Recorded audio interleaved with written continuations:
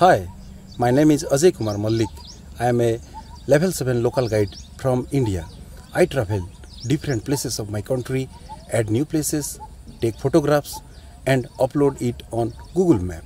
Whatever I eat, I capture.